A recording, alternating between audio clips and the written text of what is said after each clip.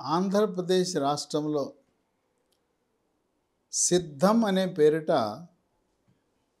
జనాన్ని తరలించి ప్రాంతీయ మహాసభలను వైఎస్ఆర్సిపి పార్టీ ఏర్పాటు చేస్తూ ఉంది. సిద్ధమని అధికార పార్టీ మనం ఎన్నికలకు సిద్ధమా అనే విధంగా సిద్ధమని పెడితే ప్రతిపక్ష పార్టీలు తర్వాత వారిని విమర్శించే వామపక్ష పార్టీలు. సిద్ధం అంటే వాళ్ళు ఓటమికి సిద్ధము అనే విధంగా వ్యంగ్యాస్త్రాలు సిద్ధం చేస్తున్నారు. త్వరలో భారతీయ జనతా పార్టీ జనసేన తెలుగుదేశం పార్టీ కలిపి ఒక కూటమిగా ఏర్పడబోతా ఉన్నాయి. ఇప్పటికే జనసేన తెలుగుదేశం పార్టీ కలిసి పోటీ చేయటానికి నిర్ణయించుకున్నారు. త్వరలో పార్లమెంటు రద్దు కాకముందు ఎన్నికల షెడ్యూల్ విడుదల కాకముందే తెలుగుదేశం పార్టీని చంద్రబాబు నాయుడిని లాంఛనంగా ఎన్డీఏ కూటమిలోకి ఆహ్వానం పలుకుతారని వార్తలు వినపడుతున్న తరుణంలో ఈ ఓటమి ఎలా తరంకొస్తూ ఉందంటే జగన్మోహన్ రెడ్డిని ఏ షర్మిల చెల్లెలు జగన్మోహన్ రెడ్డి పదహారు నెలలు జైలులో ఉన్నప్పుడు మూడు వేల కిలోమీటర్లు పాదయాత్ర ద్వారా అమ్మ విజయమ్మ చెల్లెలు షర్మిల రాత్రనక పగలనక ఎండనక వాననక గొంతు బొంగురుపోయినా ఆరోగ్యం సహకరించకపోయినా మోకాళ్ళు నొప్పులొచ్చినా కుటుంబానికి దూరంగా ఉంటూ పిల్లలను సైతం దూరంగా ఉంచి ఆమె అంత త్యాగం చేస్తూ నేను జగనన్న వదిలిన బాణం అని చెప్పి అహర్నిశలు కృషి చేసిన చెల్లెలని గెలవగానే అమ్మ చెల్లెలు ఇక మీరు సర్దుకోండి. మీరు పక్క రాష్ట్రమైన తెలంగాణలో లోటస్ పాండ్లో హాయిగా విశ్రాంతి తీసుకోండి అని ఆ విధంగా అంతకుముందేమో విజయమ్మని విశాఖలో లోక్సభ సీటుకు పోటీ చేయించాడు. రాజశేఖర రెడ్డి బతికుండగా ఎన్నడూ కూడా విజయమ్మ బయటకొచ్చి రాజకీయ ప్రసంగాలు చేసిన దాఖలాలు లేవు. ఆనాడు వాడుకుని వదిలేశాడు. అమ్మని చెల్లెల్ని వాడుకుని వదిలేసిన ఈ వ్యక్తి మన పార్టీ నాయకులను శ్రేణులను ప్రజలను ఏం ఉద్ధరిస్తాడనే విమర్శలు కూడా గ్రామ స్థాయిలో రచ్చబండల మీద కూడా గ్రామీణ వాసులు చర్చించుకుంటున్నారు. అందరూ ఒకటే అనుకుంటున్నారు. నీ సొంత చెల్లెలు రక్తం పంచుకొని పుట్టింది ఆమెకు ఒక రాజ్యసభ సీటో లేదా ఒక ఎమ్మెల్సీ సీటు ఆమె ఇచ్చి గౌరవించవచ్చు కదా. పోనీ నీ తల్లి వైజాగ్లో లోక్సభకు పోటీ పెట్టా ఓటమి చెందింది. ఆమెను రాజ్యసభ సీటుకు పంపొచ్చు కదా. కనుక తల్లి చెల్లెల్ని నిస్ ఆమె ఎటువంటి కనికరం లేకుండా సొంత రక్త సంబంధీకులని దూరం పెట్టిన ఈ జగన్మోహన్ రెడ్డిని ఎవరు నమ్ముతారు? మరొకటి బాబాయి. బాబాయి హత్యకు అక్కడుండే అవినాష్ రెడ్డికి జగన్మోహన్ రెడ్డికి పరోక్ష సంబంధాలు ఉన్నాయి అని చెప్పి లోకం కోడై కూస్తూ ఉంది. ఎక్కడ చూసినా బాబాయ్ హత్యకు ఈ అవినాష్ రెడ్డి జగన్మోహన్ రెడ్డి వీళ్ళ ప్రమేయం ఉన్నదని పుకార్లు షికార్లు చేస్తున్న తరుణంలో అది కూడా ఒకంత వైఎస్ఆర్సిపి పార్టీకి నెగిటివ్గా అవరోధంగా మారింది. స్వాతంత్రం వచ్చిన తర్వాత ఏ రాజకీయ పార్టీ కూడా ఇంతమంది ఎమ్మెల్యేలను లోక్సభ సభ్యుల్ని బదిలీలు చేయటం అనేది ఎన్నడూ ఏ పార్టీ చేయలేదు. నభూతో నభవిష్యత్ అనే విధంగా జగన్మోహన్ రెడ్డి అంతర్ జిల్లా బదిలీలు అంతర్ జోన్ల బదిలీలు అంతర్ రాష్ట్ర బదిలీలు చేస్తూ ఇప్పటివరకు సుమారు డెబ్భై మందిని బదిలీలు చేయటం దాదాపు ఒక ముప్పై మందికి సీట్లు నేను ఇవ్వను మీరు పనికిరారు మీరు గెలవరు అని చెప్పి వాళ్ళను పక్కన పెట్టడం కనీసం కొంతమందికి ఇంటర్వ్యూలు కూడా ఇవ్వకపోవటం. ఈ మార్పులు చేసిన నియోజకవర్గాలు లేదు సీట్ ఇవ్వని తిరస్కరించిన వాళ్ళు అధికంగా ఎస్సీ ఎస్టీ బీసీలకు అవమానం జరిగినట్టుగా దళిత సంఘాలు బీసీ సంఘాలు భావిస్తున్నాయి. ఇరవై తొమ్మిది జనవరి పెద్దిరెడ్డి రామచంద్రారెడ్డి మంత్రి అట్టహాసంగా అనంతపురంలో జరిగే సిద్ధం మహాసభకు సన్నాహక సమావేశం అని ఏర్పాటు చేశాడు. ఎమ్మెల్యేలను ఎమ్మెల్సీలను ఎంపీలను ప్రజాప్రతినిధులందరినీ పార్టీ వాళ్ళందరినీ పిలిచాడు. ఎవరైతే పార్టీ టికెట్ తిరస్కరించబడ్డారో వాళ్ళందరూ గైర్హాజరవటం విశేషం. మడకశిర శాసనసభ్యుడు డాక్టర్ తిప్పేస్వామి పలమరేరు శాసనసభ్యుడు ఎంఎస్ బాబు మదనపల్లి శాసనసభ్యుడు నవాజ్ బాషా ఆలూరు నియోజకవర్గ ప్రాతినిధ్యం వహిస్తున్న మంత్రి గుమ్మనూరు జయరాం సత్యవేడు నియోజకవర్గ ఎమ్మెల్యే ఆదిమూలం వీళ్ళందరూ కూడా సన్నాహక సమావేశానికి తిరుపతికి రాలేదు. వీళ్ళు ఏంటి వీళ్ళ భవిష్యత్ అంటే మొట్టమొదటిది ఎవరైతే ముప్పై మందికి సీట్లు తిరస్కరించారో వాళ్ళందరూ కూడా తెలుగుదేశం పార్టీ నిలబెట్టబోయే రాజ్యసభ సీటు రాజ్యసభ సభ్యుడిని గెలిపిస్తారు. అంటే మొదటి దెబ్బ వైఎస్ఆర్సిపి పార్టీకి దక్కవలసిన మూడు రాజ్యసభ సీట్లలో ఒకటి కోల్పోయి ఒకటి చంద్రబాబు నాయుడు తెలుగుదేశం పార్టీ కైవసం చేసుకోబోతా ఉంది.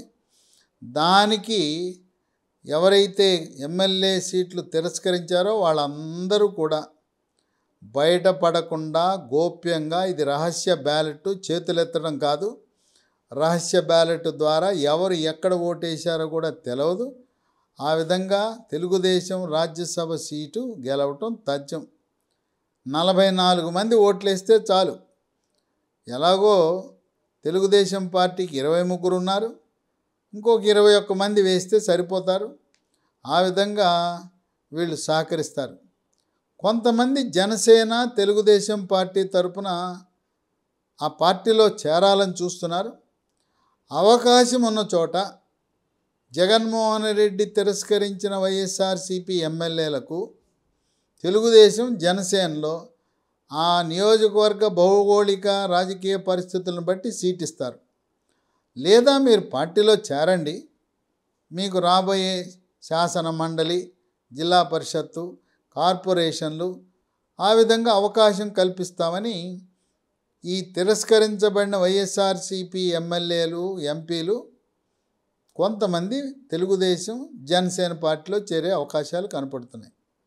మరికొంతమంది షర్మిల పిసిసి అధ్యక్షురాలైంది.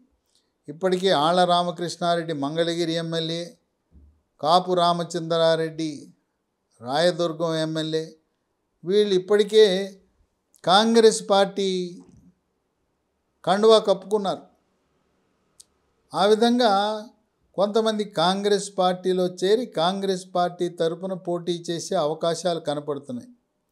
విశేషం ఏంటంటే అందరూ వాపోయేది. ఎంఎస్ బాబు పలమనేరు ఎమ్మెల్యే బహిరంగంగా పత్రికాముఖంగా అన్నాడు. మీరు పనికిరారు పనికిరారు అంటున్నారు. మీరు అందరూ దళితులను దళితులు ప్రాతినిధ్యం వహించే నియోజకవర్గాల వారిని అలాగే బీసీలు ప్రాతినిధ్యం వహిస్తున్న ఎమ్మెల్యేలకు ఉన్న వారిని తొలగించారు. మీరు అగ్రవర్ణాల వారిని ఎవరిని కూడా అంటుకోలేదు. ఈ చిత్తూరు జిల్లాలో ఇక్కడ ఉండే సత్యవేడు పలమనేరు గంగాధర నెల్లూరు ముగ్గురు దళితులు ఈ నియోజకవర్గాల్లో మీరు పనికిరారంటున్నారు. ఈ విధంగా దళితులకు మీరు తీరని అన్యాయం చేస్తున్నారు అవమానం చేస్తున్నారని ఆయన బహిరంగంగానే చెప్పడం జరిగింది. రెండు వేల పంతొమ్మిది ఎన్నికల్లో రాయలసీమ నాలుగు జిల్లాల్లో కర్నూలులో పద్నాలుగు సీట్లు అలాగే కడపలో పది సీట్లు ఇరవై రెండు సీట్లు కూడా వైఎస్ఆర్సీపీ కైవసం చేసుకున్నది. చిత్తూరులో ఉండే పద్నాలుగులో కేవలం ఒక్క సీటు మాత్రం తెలుగుదేశం గెలిచింది. అనంతపురం జిల్లాలో పద్నాలుగు ఉంటే రెండు సీట్లు తెలుగుదేశం గెలిచింది. ఉరవకొండలో పయ్యావల కేసు హిందూపురంలో బాలకృష్ణ. అంటే రాయలసీమలో యాభై రెండు సీట్లుంటే నలభై తొమ్మిది సీట్లు వైఎస్ఆర్సీపీ పార్టీ గెలుచుకుంది. కడప కర్నూలులో పూర్తిగా సంపూర్ణంగా ఏకపక్షంగా వైఎస్ఆర్సీపీ పార్టీ గెలిచింది. అలాగే నెల్లూరు జిల్లాలో పది నియోజకవర్గాలు పది వైఎస్ఆర్సీపీ గెలిచింది. రాయలసీమలో యాభై రెండు నెల్లూరు పది కలిపితే అరవై రెండు నియోజకవర్గాల్లో తెలుగుదేశం పార్టీ గెలిచింది కేవలం మూడు. యాభై తొమ్మిది వైఎస్ఆర్సీపీ కైవసం చేసుకుంది. ఆ విధంగా రాయలసీమ నెల్లూరులో పట్టు కోల్పోవడం ద్వారా తెలుగుదేశం పార్టీ ఓటమి చెందింది. ఇప్పుడు ఓడలు బండ్లు అవుతాయి బండ్లు ఓడలు అవుతాయి అనే తరుణంలో ఈ రోజున నెల్లూరు జిల్లాలో ఉండే పది నియోజకవర్గాల్లో ఎనిమిది నియోజకవర్గాల్లో తెలుగుదేశం జనసేన బీజేపీ కూటమి గెలవబోతా ఉంది. రాయలసీమలో ఉండే యాభై రెండు నియోజకవర్గాల్లో ముప్పై రెండు నియోజకవర్గాల్లో తెలుగుదేశం జనసేన బీజేపీ జెండా ఎగరైపోతూ ఉన్నాయి. గతంలో వైఎస్ఆర్సిపి రెండు వేల పంతొమ్మిది పార్లమెంట్ ఎన్నికల్లో ఇరవై రెండు సీట్లు గెలిచింది. ఇప్పుడు జనసేన తెలుగుదేశం బీజేపీ కూటమి ఇరవై రెండు సీట్లు గెలిచి కేవలం మూడు సీట్లకే వైఎస్ఆర్సిపి పార్టీని పరిమితం చేసే అవకాశం ఉంది. రాయలసీమలో అక్కడుండే యాభై రెండు నాలుగు జిల్లాల్లో పది ఈ నెల్లూరులో అక్కడ ఈ వైఎస్ఆర్సీపీ పార్టీని కేవలం అరవై రెండులో ఇరవైకే పరిమితం చేయటం ద్వారా అమరావతి రాజధానిని మార్చాడు రాజధాని లేని రాష్ట్రం చేశాడని అనాథ రాష్ట్రం చేశాడని ఎక్కడ చూసినా ఆంధ్రప్రదేశ్ రాష్ట్రం ట్రేడ్ మార్కు గుంతల రోడ్లు చేశాడని కృష్ణాలో ఉండే పదహారు గుంటూరులో ఉండే పదిహేడు పశ్చిమ గోదావరిలో ఉండే పదిహేను తూర్పు గోదావరిలో ఉండే పంతొమ్మిది. ఈ అరవై ఏడు నియోజకవర్గాలలో రెండు కానీ మూడు కానీ వైఎస్ఆర్సీపీ గెలుస్తుంది. అరవై నాలుగు నుంచి అరవై ఐదు సీట్లు కేవలం జనసేన తెలుగుదేశం పార్టీ బీజేపీ కైవసం చేసుకునే అవకాశాలు ఉన్నాయి సర్వేలు తేట తెల్లంగా తెలియజేస్తున్నాయి. అందుకే జగన్మోహన్ రెడ్డి ఇరవై నాలుగు జనవరి తిరుపతిలో ఇండియా టుడే అనే విద్యా సదస్సు నిర్వహించేటప్పుడు ఆయనలో నైరాశ్యం ఆయనలో ఓడిపోతాననే భావం కలిగి బహిరంగంగానే వెలిపుచ్చాడు ఈ రోజుకి ఈరోజు నేను దిగిపోవాలన్నా యాభై ఆరు నెలలు అయింది దిగిపోవాలన్నా నాకు ఆనందంగా ఉంది. చేసింది చాలు. నాకు ప్రజలు అవకాశం ఇస్తే మళ్ళీ ఇంకోసారి ఉంటాను అని తన నైరాశ్యాన్ని ప్రకటించాడు. ఇదే డైలాగు కేసీఆర్ కూడా ఎన్నికలకు మూడు నెలల ముందు ఇదే మాట్లాడాడు. తెలంగాణ ప్రజలు నాకు అవకాశం ఇస్తే మళ్ళీ మూడవసారి పరిపాలిస్తా తెలంగాణ రాష్ట్రాన్ని లేదా ఫార్మ్ హౌస్లో రెస్ట్ తీసుకుంటానన్నాడు. అంటే సర్వేల ద్వారా ఇంటెలిజెన్స్ నివేదికల ద్వారా అక్కడ కేసీఆర్కి అర్థమైంది మూడు నెలల ముందు. ఇక్కడ జగన్మోహన్ రెడ్డి కూడా మూడు నెలల ముందు అర్థమై ఇక మళ్ళీ గెలవటం అసంభవం అని తెలిసి విఫలయత్నం చేస్తూ సిద్ధం సిద్ధం అని అంటుంటే ప్రతిపక్షాలును వామపక్షాలు ఓటమికి సిద్ధం ఓటమి సిద్ధం అని వాళ్ళు వ్యంగ్యాస్త్రాలు సంధిస్తున్న సమయంలో ఓటమికి ఆనాడు జగనన్న వదిలిన బాణం ఈరోజు రాహుల్ గాంధీ వదిలిన బాణం ఆ బాణం వల్లనే వైఎస్ఆర్సిపి పార్టీ ఓట్లు చీలిపోయి ఏదైతే నలభై తొమ్మిది శాతం ఓట్లతో గెలిచిన వైఎస్ఆర్సిపి పార్టీ పది శాతం ఓట్లను కాంగ్రెస్ పార్టీ చీల్చివేసే అవకాశం ఉన్నది ప్రతిపక్షాలు విమర్శించే దానికంటే సొంత చెల్లెలు సూటిగా సుత్తి లేకుండా జగనన్నా నువ్వేం చెప్పావు? ఏం చేస్తున్నావని ఆమె సూటిగా బాణం ఉంది కదా బాణము గుచ్చుకునే విధంగా లక్ష్యము పక్కకు పోకుండా నువ్వు దశల వారీగా మద్యపాన నిషేధం అన్నావు. ఎక్కడ చేశావు? ఎక్కడైనా చేశావా? దళితులపై దాడులు పెరిగినాయి. ఇదేనా రాజన్న పరిపాలన అంటే పేదరికం పెరిగిపోయింది. ఇదేనా రాజన్న పాలన అంటే ప్రతి నెల ప్రతి సంవత్సరము జనవరిలో జాబ్ క్యాలెండర్ అన్నావు ఎన్ని ఉద్యోగాలు ఇచ్చావు? ఏదో ఆ గ్రామ సచివాలయాలను పెట్టి అరకొర జీతాలతో ఆ సచివాలయ సిబ్బందిని నియమించి ఇదేదో గొప్ప జాబ్ క్యాలెండర్ అన్నావు నిరుద్యోగ యువతకు నువ్వు చేసిన సహాయం ఏంటి? ఆ విధంగా ఆమె సూటీ పోటీ బాణాలు వేస్తుంటే దానికి స్పందించకుండా దొడ్డిదారిన ఏదో సమాధానపరచటానికి నాయకులు మాట్లాడుతున్నారు. వైఎస్ఆర్ పార్టీ అంటే వైఎస్ రాజశేఖర రెడ్డి పార్టీ కాదు. యువజన శ్రామిక రైతు పార్టీ. దానికి షర్మిల మరొక నిర్వచనం ఇచ్చింది. వై అనగా వైవి సుబ్బారెడ్డి ఎస్ అనగా సాయిరెడ్డి విజయ సాయిరెడ్డి ఆర్ అనగా సజ్జల రామకృష్ణారెడ్డి. ఈ మూడు అక్షరాలు ఈ ముగ్గురు వ్యక్తులే నడుపుతున్నారు. పేరుకేమో డైలాగులు బీసీలు ఎస్సీలు అంటాం. పదవులైతే వాళ్ళకి ఇస్తారు పవర్ మొత్తం ఈ వైవి సుబ్బారెడ్డి సజ్జల రామకృష్ణారెడ్డి అలాగే విజయసాయి రెడ్డి. ఈ ముగ్గురికే పరిమితమైంది. మంత్రులు ఎమ్మెల్యేలు ఎమ్మెల్సీలు ఎంపీలు అందరూ కూడా ఉత్సవ విగ్రహాలే. ఈ ముగ్గురే వాళ్ళని శాసిస్తారు. మంత్రులకు ప్రజాప్రతినిధులకు దక్కవలసిన కనీస గౌరవం దక్కటం లేదు. షర్మిల ఇంకో మాట అంది. వైఎస్ఆర్సీపీ ఎమ్మెల్యేలు మీరు ఒక్కసారి మీ ఆత్మ విశ్లేషణ చేసుకోండి. మీరు మీ బలంతో నియోజకవర్గ ప్రజల ఆశీస్సులతో గెలిచొస్తే జగనన్న గేట్ల దగ్గర పడిగాపులు పడుతూ ఆయన అపాయింట్మెంట్ దొరక్క తిరిగి వెళ్ళిన సన్నివేశాలు సంఘటనలు ఒక్కసారి గుర్తు చేసుకోండి. కాపు రామచంద్రారెడ్డి బీసీ సామాజిక సోదరుడు ఒక్క ఐదు నిమిషాల సమయం అంటే ఒక బీసీ ఎమ్మెల్యేని ఘోరంగా అవమానపరిచి ఇంటర్వ్యూ కూడా ఇవ్వకుండా ఒక మనిషిని చివరికి ఉరితీసేటప్పుడు నీ ఆఖరి కోరిక ఏంటని అడుగుతారు. ఆఖరి కోరికను తీరుస్తారు. మరి నీవు ఎమ్మెల్యేగా నీకు సీట్ ఇవ్వటం లేదంటే కనీసం అపాయింట్మెంట్ ఇచ్చి ఈ కారణం వల్ల నిన్ను సీటు ఇవ్వటం లేదని చెప్పే హక్కు లేదా అని చెప్పి ఇప్పుడు షర్మిల ఆమె యొక్క ప్రచార శైలి ధోరణి దానివల్ల వైఎస్ఆర్సీపీ పార్టీలో సీట్ రాని వాళ్ళందరూ ఆమె ఇంకో మాట చెప్పింది. నేను నూట డెబ్భై ఐదు శాసనసభ సీట్లలో కాంగ్రెస్ పార్టీ తరపున పోటీ పెడతాను. ఇరవై ఐదు లోక్సభల్లో కూడా సీట్లలో నేను పోటీ పెడతాను.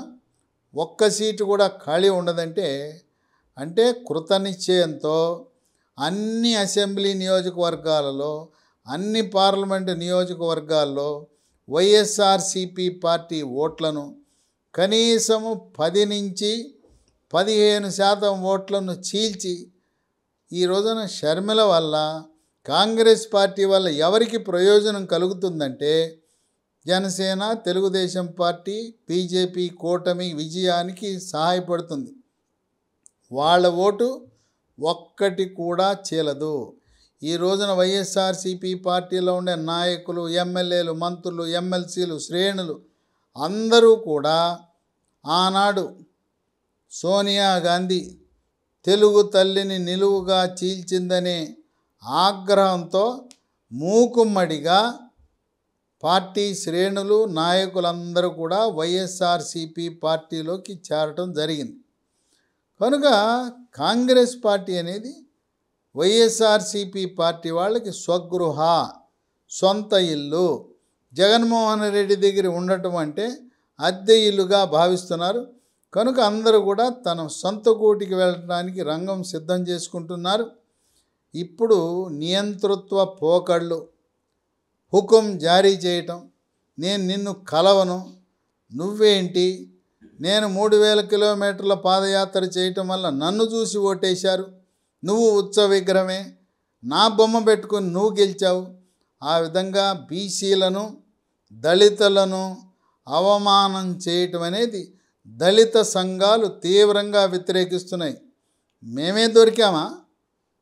ఎక్కడ చూసినా దళితుడు శాసనసభ్యుడిగా ఉన్న వాళ్ళని మార్చి బీసీలను మార్చి మరి ఎందుకు రెడ్డి సామాజిక వర్గంలో ఉన్న మీ సామాజిక వర్గం వాళ్ళని ఎందుకు మార్చటం లేదు అని దళిత సంఘాలు వ్యతిరేకిస్తూ తీవ్రంగా దీన్ని వాళ్ళ నిరసనను తెలియజేస్తూ సీటు రాని ఎమ్మెల్యేలు అందరూ కూడా అధిక శాతము కాంగ్రెస్ పార్టీలో చేరి షర్మిల బాటలో నడిచే అవకాశాలు ఉన్నాయి.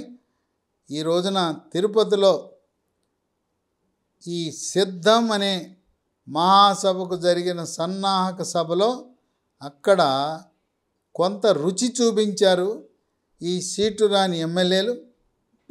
ఇదే బాటలో కర్నూల్లో అక్కడ నంద్యాల అట్లాగే శ్రీశైలం ఎమ్మెల్యేలకు కూడా సీటు తిరస్కరించే అవకాశం ఉన్నదని ఆ రెండు నియోజకవర్గాల్లో ఉండే శిల్ప చక్రపాణి రెడ్డి ఒకనొకప్పుడు తెలుగుదేశం నుంచి వైఎస్ఆర్సీపీలకు వెళ్ళాడు.